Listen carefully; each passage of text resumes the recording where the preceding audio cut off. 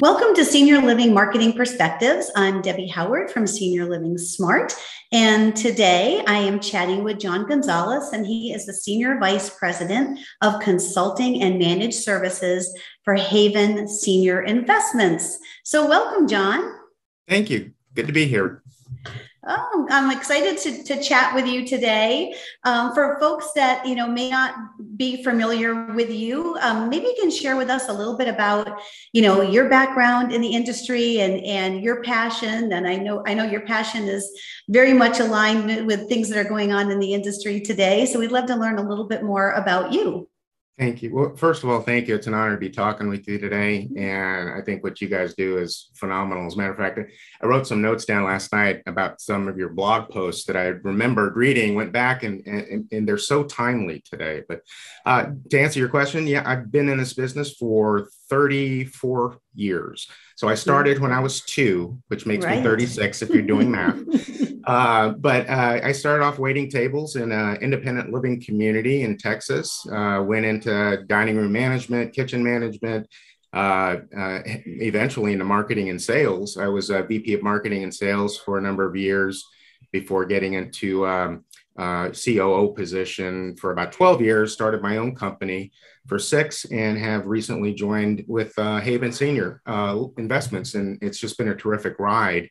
The you know I fell into the industry accidentally. Uh, I was fired from uh, waiting tables at a, at a restaurant, and uh, I wasn't a good waiter. But uh, the I was looking for something. Uh, there was an ad in the paper for a dining room services uh, person for a retirement community, and this is before the term assisted living had even been coined. so I took the position and just wound up growing up with the industry. Um, you know, at some point, early on in in my walk with uh, uh, senior housing, um, it, it, the light went off. M- my grandmother uh, passed from Alzheimer's disease uh, almost yeah. 38 years ago, and so we saw uh, that decline firsthand, the impact on our family. at that point, there was nowhere else to put her except for a state-run nursing home. That's all. That's all my family could find and afford.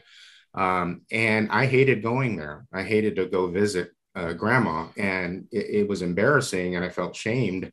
But the sights, the smells, the sounds, they were just, and seeing grandma with no quality of life mm. um, in, in, a, in a time when she should be still thriving and learning and growing and you know dancing and painting and these things which she had the capability of doing but there was just no option so i knew there was a better way and so through the industry, I feel like uh, I've been able to have some impact on the growth, the progression, and now beautiful communities that people have the option of, uh, of moving into. That's great. Well, thank you for sharing that story. I feel like we all have those kind of personal, uh, personal stories that connect us to the industry. So um, today, I know we we wanted to really schedule this time together um, to focus on a, really a, quite a crisis that we're undergoing. It used to be, you know, everyone would call us to say, "Can you get me more leads? We need more prospects in the pipeline."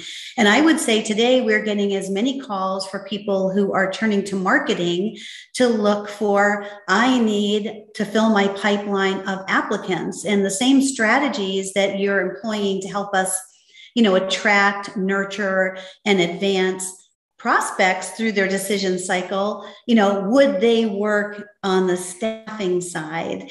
And how can we employ those those similar channels um, more creatively? Because you know the job fairs and the you know the things that we've always done in the past just really aren't aren't enough. So um, i know that that's really a passion project for you as well kind of coaching and developing people and leadership development. So i'd love to know kind of um, I think we were talking just before we hit hit play on the record uh, for this podcast that McKnight's today just published an article that 71% of assisted living uh, providers are very concerned that workforce issues may uh, put them out of business. 71%, I almost fell out of my chair um, about that.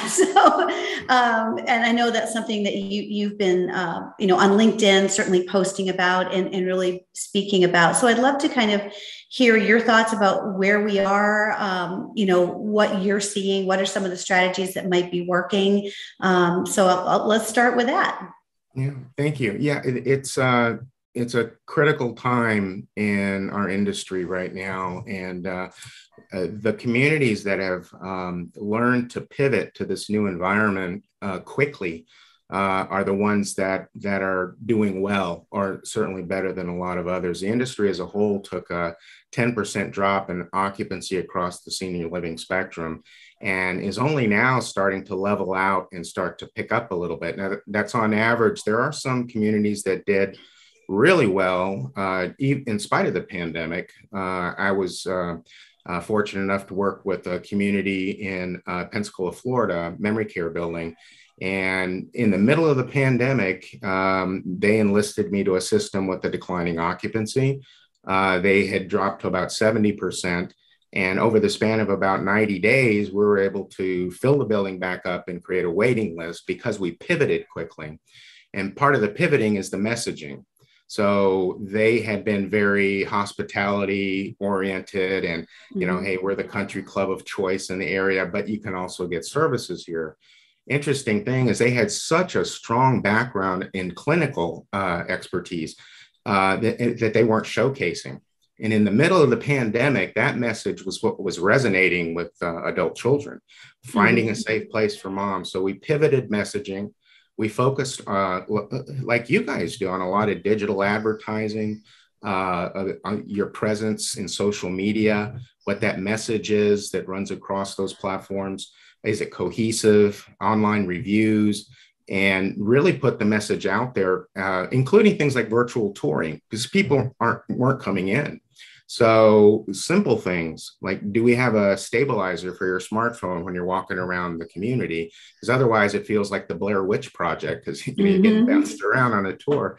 So that that's a great example of a community that pivoted quickly. They adjusted their messaging and they rode out the storm and they're doing well the interesting thing now, where we find ourselves, all of those strategies still are sound and work so well. I think marketing and sales professionals as a, as a uh, an entity within senior housing is ahead of the curve from operations in that you guys have been in this world for a long time you saw the wave coming uh, and those companies that were were were aware and, and and looking forward saw hey we've got to pivot uh, maybe postcards and direct mail isn't the way to go now. Maybe we need to do a lot more things electronically and digitally. And one of the interesting things for me when we first talked was discussing how those same techniques being used by marketing and sales and having uh, been used for a long time, maybe that is an opportunity for us to approach employees. So I think the, the critical thing is the platform's probably already there. Um, the database is something you're going to have, uh, we're going to have to find of available employees, but the messaging is the most critical thing. Uh, I think if you have the right messaging, if you have a strong presence uh, online, they'll find you. So, but when they do, you've got to have the right message that's going to attract these folks to come to us. And that's something I think in general, senior living has always struggled with is the perception uh, oh, I don't want to work there. I don't want to work for the old folks and blah, blah, blah. Uh, so we have uh, a couple of issues going on. One is the, the perception uh, of the younger workforce in particular, and uh, how we adjust that message and make working in senior living sexy, uh, mm-hmm. make it something that's interesting. And, and, and so I did some research and I found that this new generation of employees uh, are really looking for purpose in their life. And that's why you see a rise of younger folks' involvement in uh, the political arena and cultural uh, arenas, and they're getting involved because they want that purpose. So it's incumbent upon us to to create that, or not even to create it, but to show what that purpose is. and to share with these folks, you know, that this isn't just a paycheck. This is um, this is profound. It has meaning, and it's not just the residents; it's the family members that we're also serving.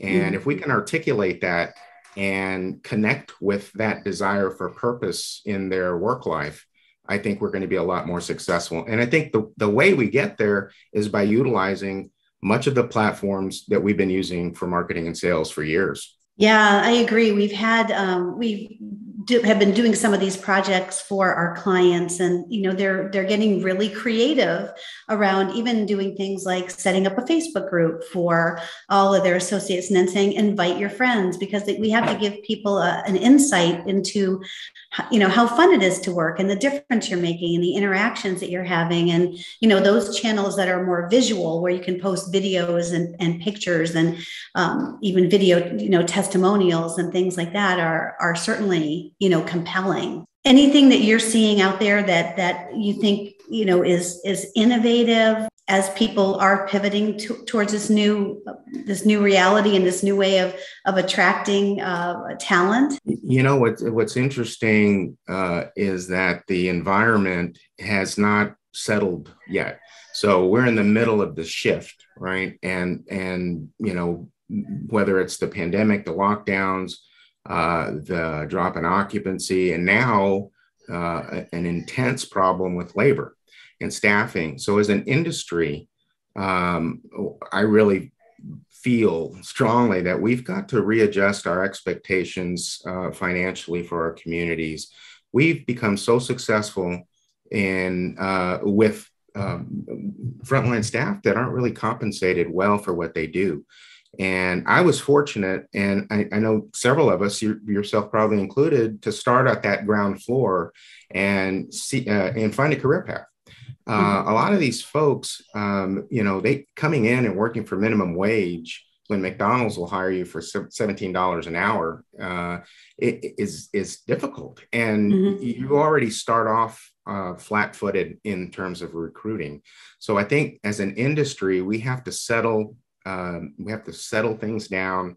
We have to adjust our expectations. We need to be creative in how we how we compensate for that um, additional uh, operating expense in the middle of having additional operating expenses because of the pandemic. So there's mm-hmm. a lot of pressure going on right now. Uh, and I'm working with a couple of different uh, groups uh, where the uh, minimum wage uh, is well below what the market is paying. So we have to make that adjustment. And of course, what that does is create a wage compression situation where you have folks that are making above minimum wage seeing new folks coming in making as much as they are. So now they are expecting some adjustments. So there's an entire very fluid situation going on, and the operators that can pivot and that can um, uh, not only recruit but retain good mm-hmm. employees mm-hmm. are the ones that are going to weather the storm. You know, it's interesting. I see a lot of companies, a lot of businesses paying sign-on bonuses uh, you know, starting at this with a sign on bonus to that, which is great uh, and, and, probably necessary. But uh, not a lot of them are giving bonuses to great employees to retain them. So I think again, there needs to be a mind shift that okay, it's yes, it's important to go out and get new employees, but holy smokes, we've got a building full of great employees. We need to do something for them to anchor them uh, I think those that have stayed in this space and worked in these communities, especially through the pandemic, those long-term grade A employees, um, they they need that recognition, and it's mm-hmm. incumbent upon us to to give it to them. Um, it, it's a difficult market out there. The, the other interesting thing for me is that some of the old is still new again. So the the, the strategies for retention um, are still the same. You, you want to anchor people, you want to reward them, obviously, but uh, how do you anchor folks into your building? And I'm a huge believer that it's through genuine relationships that create those anchors for people, whether mm-hmm. it's uh, with other staff, with residents, uh, with with the family members. Uh, but fostering genuine relationships between your existing staff and those folks um, is is the real key to anchoring folks to the building. It's not going to come because a dollar more an hour. It's not going to become because you know we have pizza parties every Friday or, or whatever. Mm-hmm. It's going to come from those genuine relationships. Having a best friend at the building uh, that you work with or for. You said uh, the Facebook page and mm-hmm. invite your friends to come and see what we do. It's beautiful example of something that I think um, it, it's going to be effective. It is successful. You you want your employees to be your best recruiters, but if they're not happy for whatever reason, uh, that's going to be a tough road. Um, and the distinction, it's interesting between marketing, sales, and operations. I always see that separation as toxic. Uh, we're part and parcel of the same goal. And mm-hmm. if, as a marketing or sales professional, uh, you recognize that the operations are struggling because of the staffing issues, for instance, or the increased operating expenses.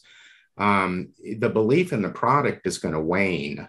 Uh, you, you're going to have difficulty conveying that passion and belief about your building if you know that there are issues operationally with the building. So I, have always believed that they need operations, whether it's the executive director, the department heads, have to work in support of marketing and sales, just as marketing and sales needs to work in support of operations. We're all the same team. I always tell people that we all do the same thing. Doesn't matter what your title is. We serve residents. We serve this generation. And I think we've got to work on that kind of cohesion, uh, mm-hmm. not only at the at the industry level, but right down in the individual communities. Uh, I've seen a lot of those communities where that separation exists. Oh, marketing and sales, they get to go have lunch, they get mm-hmm. to go mm-hmm. out tootling around the community. Uh, and there's this um, separation. They don't feel a part of what she is, he or she is doing in out in the community. So I think uh, breaching that, uh, creating a link where they feel a part of the marketing and sales team. Every staff member should be a marketer. Every one of them a marketing director should be comfortable introducing them to a prospect on a tour. Mm-hmm. Uh, they they should be equipped with those skills. Uh, and you know, sales I, I find this uh, very common. Isn't isn't just about money, right? It's about conveying a passion and a belief that you have in something in a way that makes that other person want that. You know, wow, he really sounds passionate about what he's doing.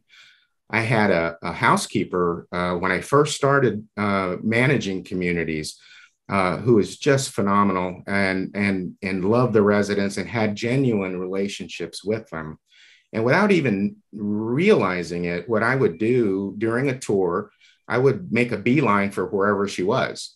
Mm-hmm. and with my with the the prospects and i would introduce her uh, Maria, uh, this is Mr. and Mrs. Jones are looking for a place for their mom. Why don't you tell them what you do here? And Maria would just go off and say, Oh my gosh, I lost my grandparents uh, six years ago. But now I feel like I have 80 sets of grandparents because I have so much in common with Mrs. So and so, and we're trade recipes with Mrs. So and so. And I just feel like we're all family. And I just love working here. And I, oh, I have to tell you the story about uh, Mr. Phillips and his birthday and blah, blah. And she just would go on. And I would just let her talk uh, she would finish and say, I, am sorry, I need to go now, or say, Thank you very much, Maria. She would leave. And I remember thinking, I just need to turn around now and say, should we go sign the lease now? because, yeah. and I, I can't tell you how many folks said, can Maria be my mom's housekeeper? Mm-hmm. And isn't that interesting? A frontline staff member that was able to convey that belief and that passion in what she did and convey those genuine relationships uh, was probably my best salesperson. Yeah. Um, so, and that that should be true for every community. You should have those people within your community that are your best salespeople. Yeah. So finding more of those Marias, you know, I think the mm-hmm. the industry really, you know, if we take a, a, kind of a chapter from the the hierarchy of needs, uh, you know, concept, you know, up to from you know very basic the very basic needs that people have or, or our team members have up to self-actualization and really looking at all of those steps. You know i think that the industry's been stuck on stage number one which is just survival. Mm-hmm. and so you know that was really like i give them a paycheck but we haven't worked our way up to belonging and feeling like you're part of something bigger and be having an opportunity to grow and contribute and then finally getting to that self-actualization of that that that sense of purposefulness. Um, you know there have been enough workers that we were able just to stay on step number one of the hierarchy of needs which is just you know food water bed sleep shelter all of that stuff. And we thought you know maybe that that that was enough. And yeah we can we can throw the pizza party and then we'll have the the december you know associate gathering and hand out you know some resident uh, you know bonuses or whatever that is. But now we have to be just so much more creative because people are looking for more. Uh, you know as we take a look at um, as we're interviewing uh, we start off with understanding who is your ideal um, like caregiver. So if we're hiring for caregivers and we're doing a marketing campaign to attract and create a pipeline of opportunity for caregivers the best ones are probably working. They're not the ones that are unemployed. They're not the ones who can start tomorrow. And so what, what, we will do is we will interview um, their idea, their favorite workers, all the Marias that work in their communities. And we ask them, you know, how did you find this, this company? Why did you choose them? What, what attracted you? Why do you stay? Um, what are the things that make it a, a great place to work um, and you know we're hearing you know things like uh, you know like training like. People are really they want to grow they want to have an opportunity. Uh, so there are certain things like if you start with creating a persona by interviewing the, the folks that are doing a great job and have been with you for a long time and have been so successful then it's about how do we go find more people like maria? Not just a warm body that's available that we can throw in tomorrow. So maybe you can talk a, a little bit about your thoughts around kind of we do have short-term needs. We do have open positions. You know, we have a client who says, I have 300 open positions today. Mm-hmm. Okay. That's scary. And so we, you know, we have to have short-term solutions. Um, but then we can't just stay in this firefight of you, you, know you're going to have 300 next month too if you're not focusing on training development orientation onboarding is having that sense of family and and giving people opportunities. So, um, you know, we're trying to work the, the two paths together. Yes, we can do things that are that are short term, but just as important is how do we create a pipeline and how do we start attracting people who aren't looking for a job, who probably are the best long term employees, um, and and how do we start that? So, I'd love for you to to share kind of your thoughts uh, around those two tracks. Sure, absolutely. So you touch on a couple of really great points. The uh, the the idea and the approach of value add for um, existing employees, and I think when we talk about the the scenario where someone has 300 uh, available positions, uh, it, it, it's it's you know it, like you said, it's frightening. And mm-hmm. how do mm-hmm. you deal with that? Because even if you fill those slots, you may have 300 next uh, next month. The way um, what I would say is first do no harm. Uh, you, you have to anchor existing good employees first. The cost of turnover is astronomical, mm-hmm. and folks say, "Oh, we can't afford to give everyone a bonus, or we can't afford to give everyone a two dollar uh, an hour increase." But if you measure the cost of the turnover it's exponentially higher than those costs. Right. So you got to start there with uh, anchoring your great employees. And uh, another way, it's not just money, like you said, there's training mm-hmm. and development. You have to bring that to the table. Um, there's value add features. Uh, can we partner with a daycare or bring daycare into the building? Uh, is there an opportunity to create a program where, gosh, Donna worked a double shift and she's going back home to her family now, but we want to give her dinner and dinner for her family and, and those kinds of things that really make um, the, help the employees to feel more like a family that, hey, they care mm-hmm. about what's going on in my world uh, not just getting that shift covered, right?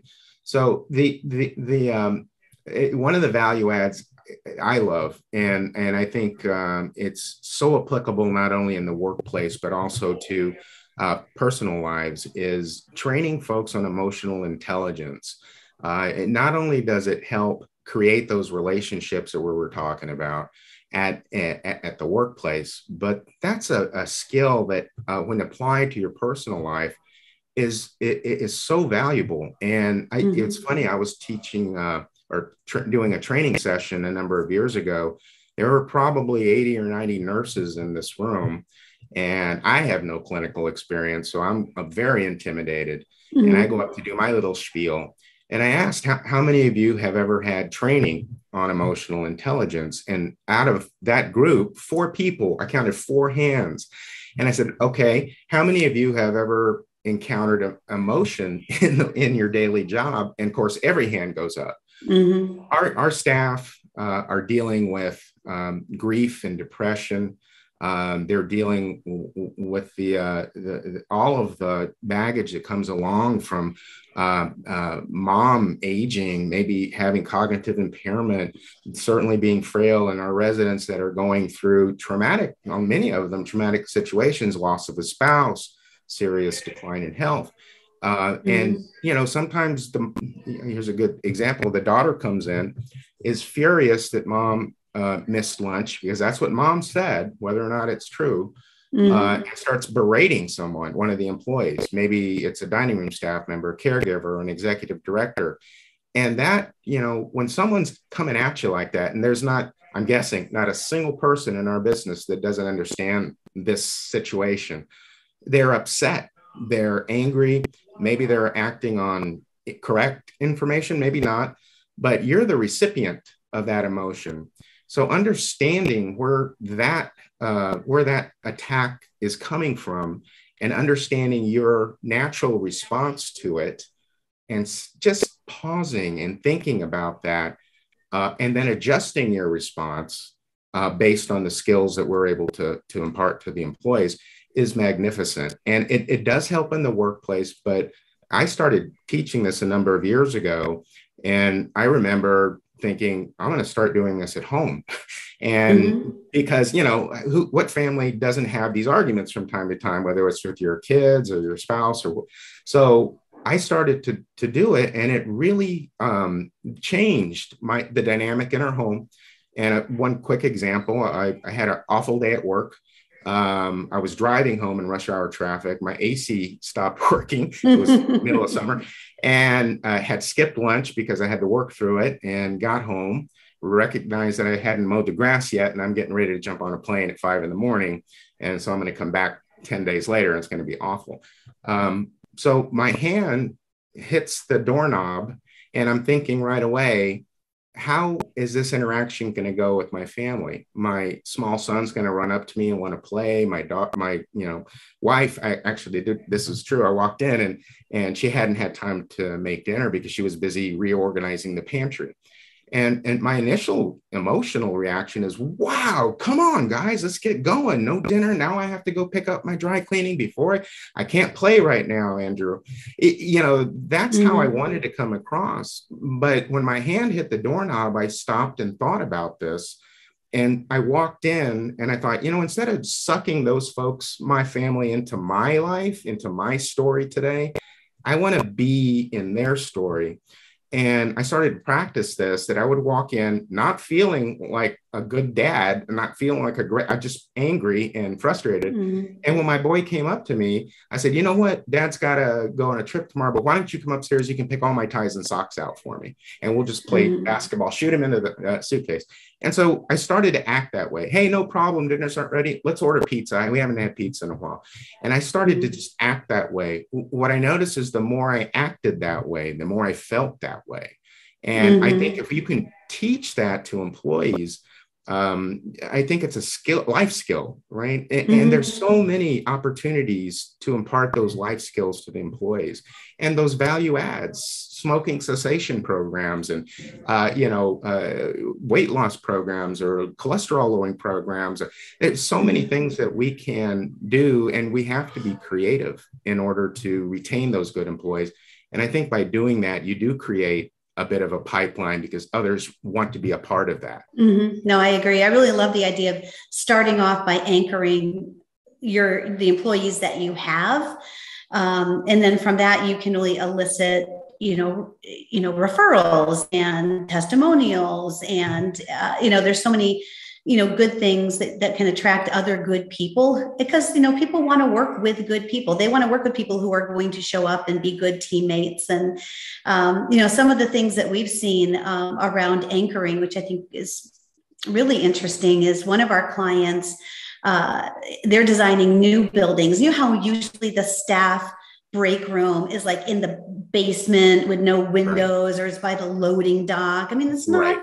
a desirable place that says we love you, we care about you, you're special. It's like here's the leftover non-revenue generating space that we could give you. right. So yeah. They're, they're, actually in their new buildings, they're putting the uh, employee lounge right upstairs, right in front, all windows, charging stations, uh, you know, all kinds of, you know, fun things when they take a break. It's comfortable, it's bright, it's respectful. You want to kind of hang out there, um, you know, and, and, and, there's, you know, full showers because some people work double mm-hmm. shifts. Right. Um, and then they're also uh, telling all the employees, look, all of the amenities that are in this building, they're for you and they're mm. for your family.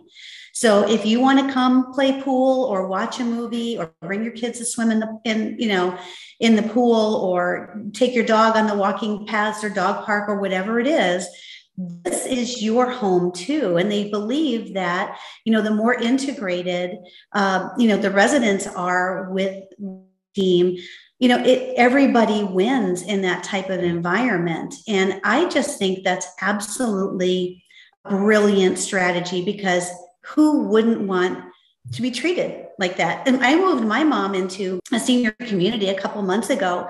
Her her best relationships are with the staff. She knows all their stories. She knows who they're dating. She knows what they're cooking. She knows when their birthdays are. Would you pick me up a card? Am i allowed to give them a gift?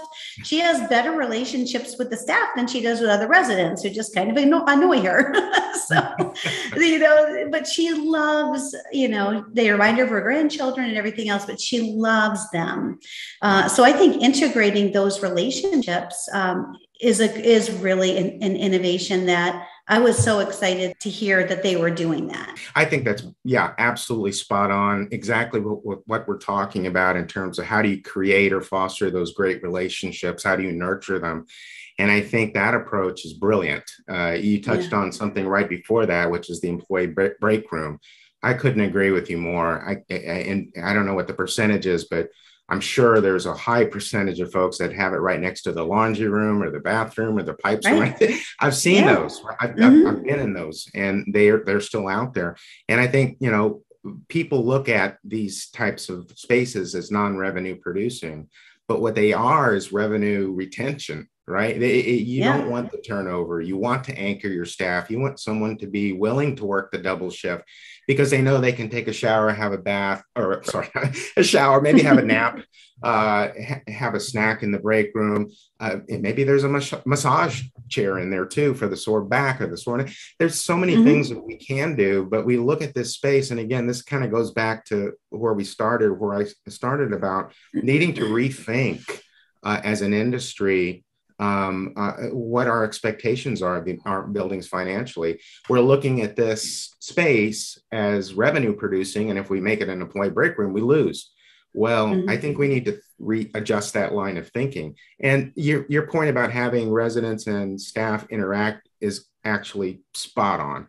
Mm-hmm. Um, one of the things I love to do is find out what the employees are interested in. What are their hobbies?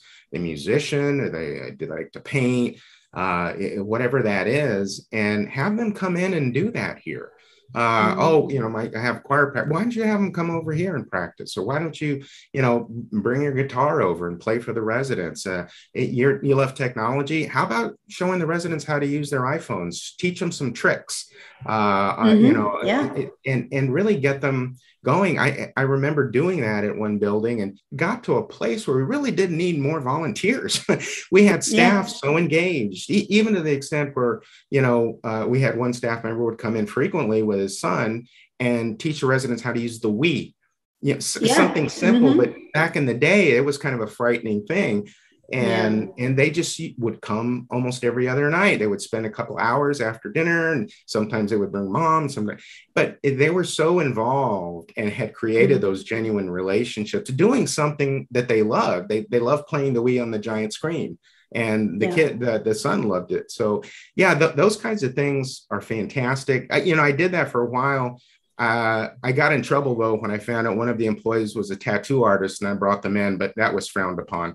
So yeah. Uh, yeah. you have to be careful. you have to be a little careful, a little, a little discerning. yes.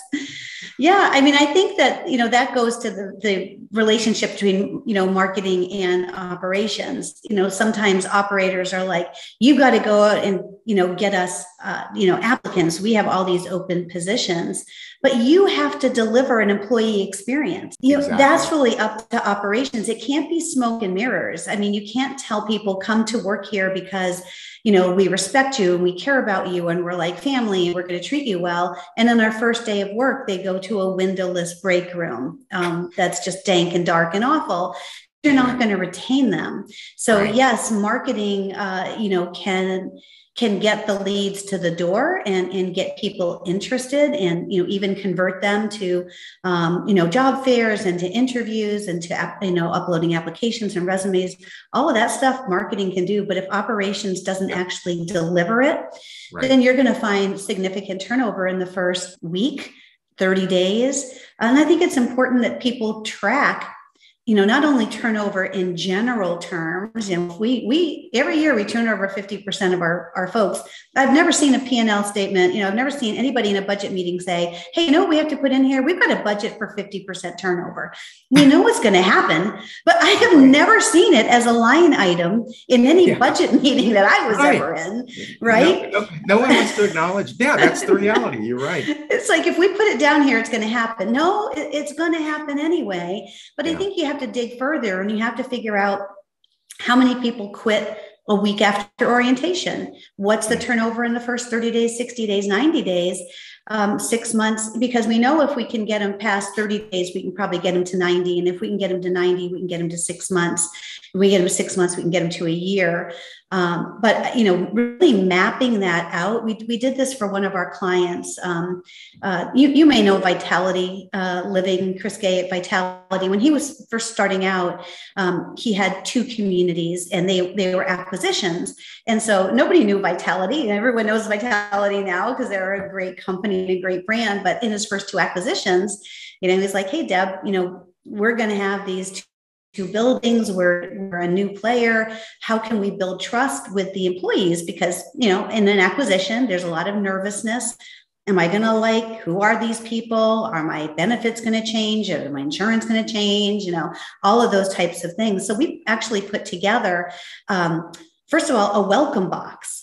So we created a vitality blend. It was beautiful. On the outside of the box, it was all branded for vitality. And we actually shipped to their home addresses this beautiful box. Uh, it had their shirt, it had their name badge, it had, um, you know, a travel mug, it had chargers, uh, and it had a letter from Chris saying how excited he was, you know, to have them as part of the Vitality team. And, you know, all of a sudden we saw on Facebook, people were taking pictures of these boxes taking pictures of their family, like mm-hmm. looking or having their shirt or putting their name badge on. So it's like, how do we create a sense of belonging before day one? Like, why are we waiting until, like, I wonder if they're going to show up for orientation. And then if they do, let's go stick them in a room with a bunch of tapes and a bunch of videos because that's right. a great experience, right? Yeah. Um, yeah.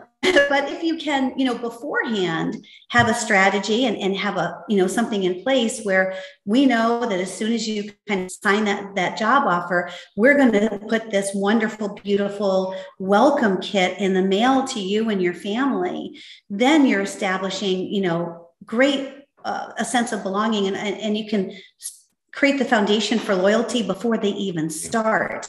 And then what's their experience going to be for orientation? Are they going to get a beautiful binder where they can put their notes? Are they going to get their name badge? Are they we even gave them each 25 business cards. The dishwashers got business cards. The waiters got business cards because it said, I respect you. You're a professional. When you work mm. for Vitality, you're a professional.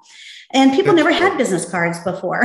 you know, in those positions. Only managers had them. Right. Right. It's brilliant. And it's a great, it's a great recruitment and retention tool, right? Yeah. You're out talking with one of your friends and, oh yeah, my sister's looking for something. Oh, well, here, why don't you call, call this number? That's my card. Yeah.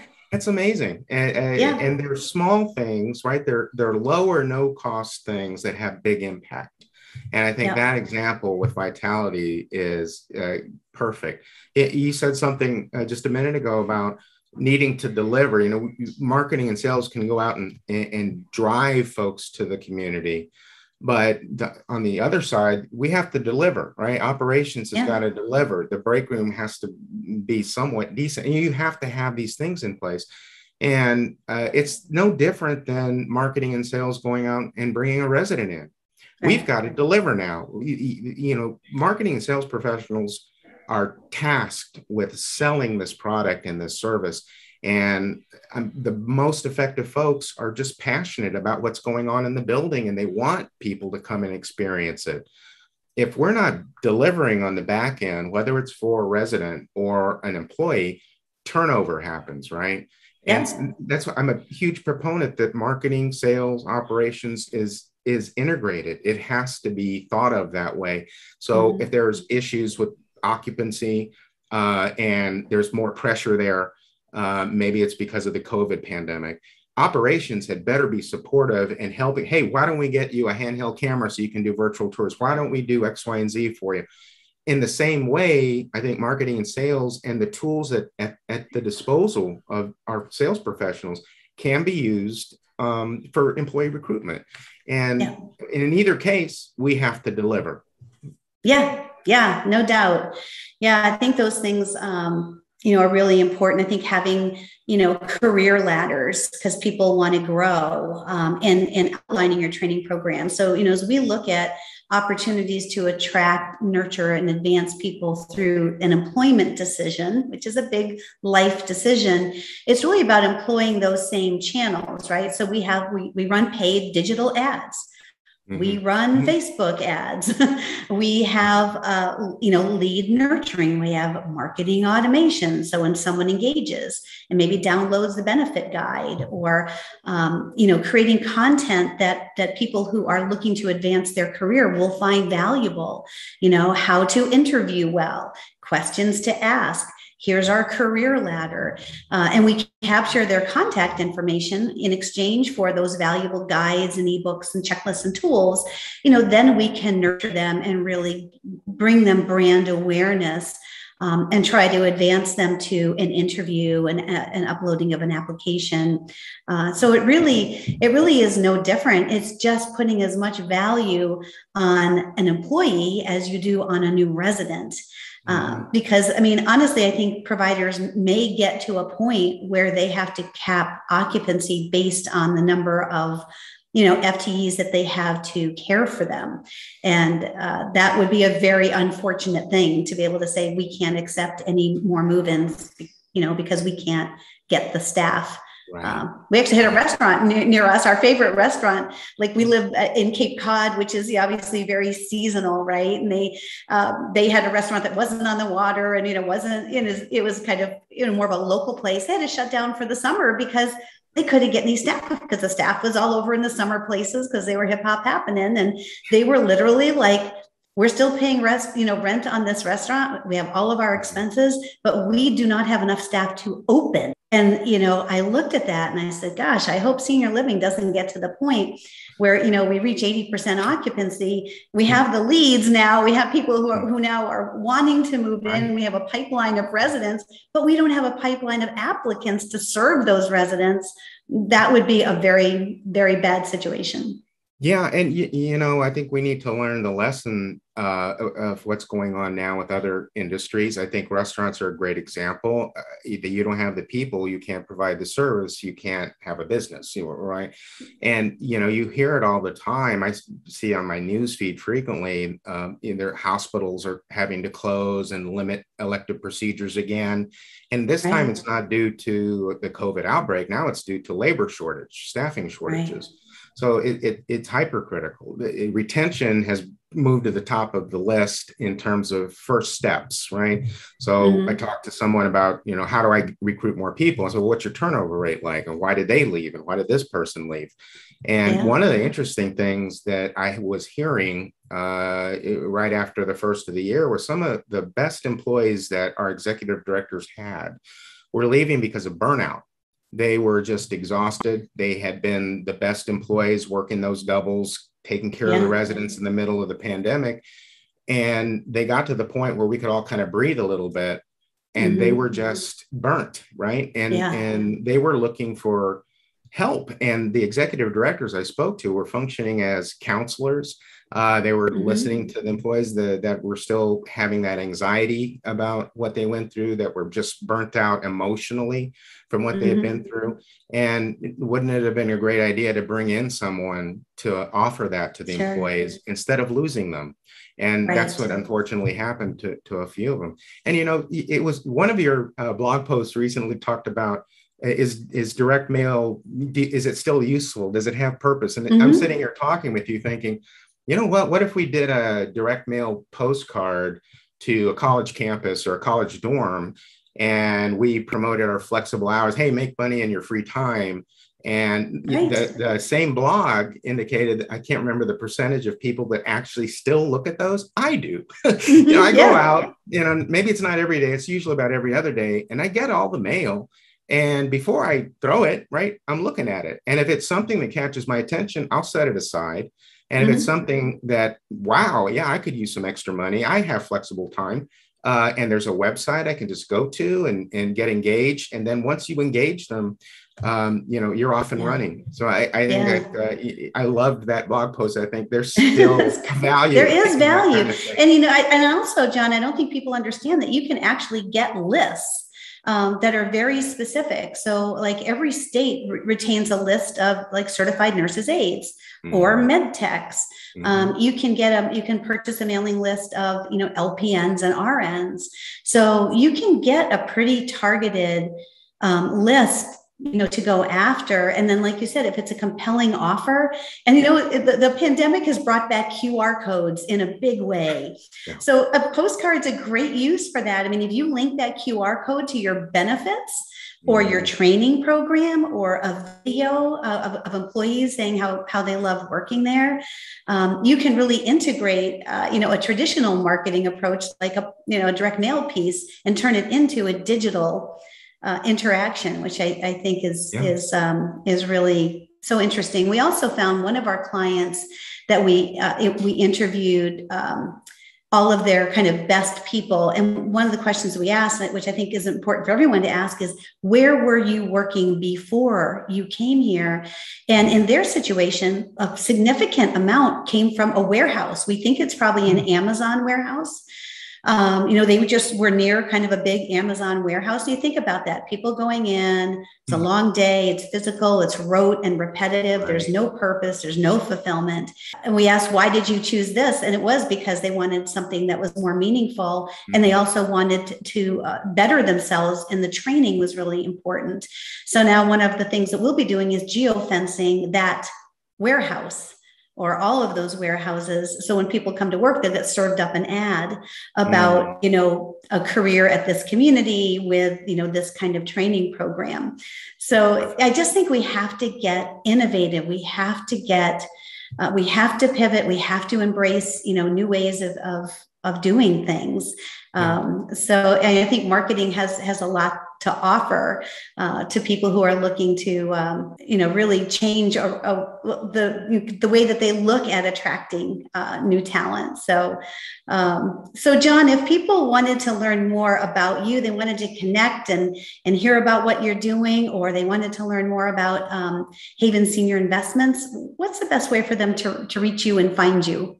Sure. Well, if, if they send me their email, I'll send them out a postcard. So no, there you go. uh, no, it's it's. I'm more apt to read a junk piece of mail than I am a junk mail on my computer. I don't know why okay. that is, but I'll see the title. I don't know that person. Delete, delete, delete.